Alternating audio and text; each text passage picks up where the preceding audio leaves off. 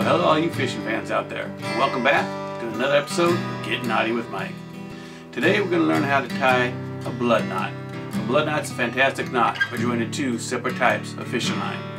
You can join braided to braided, you can join mono to braided, or mono to mono.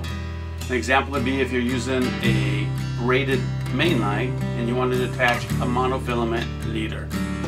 We'll be right back to show you how to tie a blood knot, and that's only if you're ready to get knotty.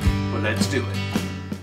And this knot goes out to my nephew Adam, who I'm proud to say is serving as a ranger in the U.S. Army, and he ain't afraid to get bloody.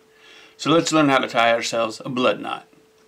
First thing you need to do is lie the two separate lines side by side. Then take one line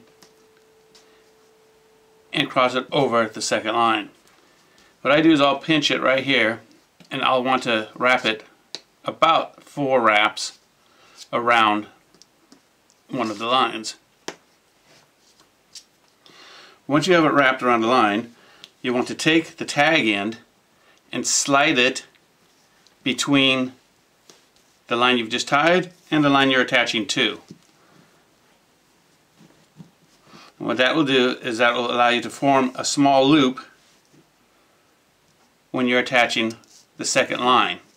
Now you take the second line, the tag end of it, and you'll begin to wrap it around the other fishing line in the opposite direction. Again, about four twists should be sufficient.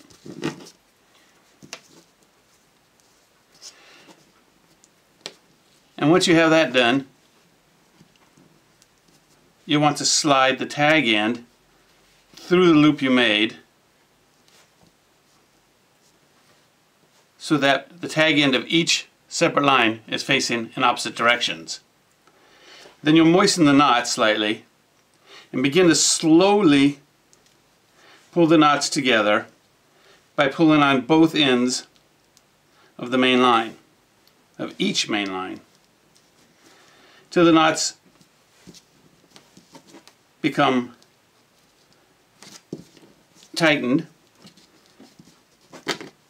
and then just pull and keep it moistened and pull and keep it moistened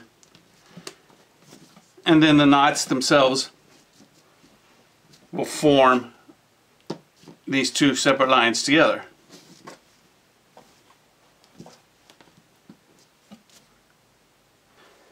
Of course then you can snip off the excess of ends on the tag end of each knot. Well I've tied some actual fishing line together to show you what it should look like when the knot is correctly tied.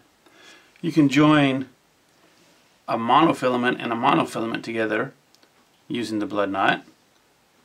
Of course, when you have your knot finished, you'll want to trim off the excess on the tag ends as close as possible. You can also join a braided line to a monofilament and that's good if you have a braided main fishing line and you want to use a monofilament leader. Again, trim off the excess tag ends. And you can also join two separate braided lines.